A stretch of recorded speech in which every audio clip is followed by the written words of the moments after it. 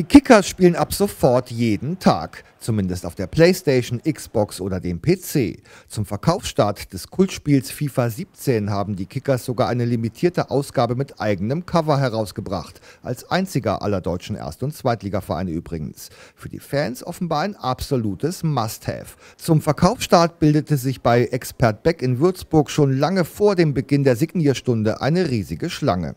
Wir sind jetzt seit zwei, sind wir, nee, seit drei sind wir da. Ist was ganz Besonderes. Also mit meinem Sohn war das erste Mal auf der Gamescom, habe mit ihm dann die FIFA 17 schon gespielt. Also das kaufe ich dir absolut. Also das kriegst du von mir geschenkt. Und jetzt das mit dem Cover ist ja, da müssen wir hoch. Aber ganz wichtig war erstmal die Hausaufgaben machen. Zockst du auch mit am Gegen?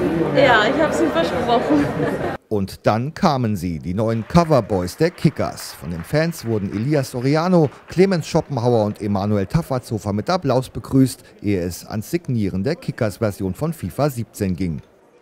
Ja, natürlich ist es ein schönes Gefühl, vor allem noch mit dem Bild vorne drauf von uns. Und äh, ich denke mal, wir drei spielen das Spiel auch gerne selber daheim. Umso schöner ist es dann.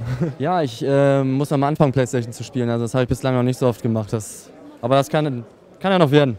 Erste Partie für dich, würde dann sagen, Kickers gegen? Oh, Werder Bremen. ich mache gleich mal Karrieremodus. Schauen wir mal. Wahrscheinlich gegen Braunschweig.